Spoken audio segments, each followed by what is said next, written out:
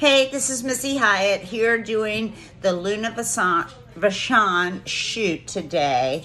And Madusa's here. And look at all the stuff that she brought me. This is her line.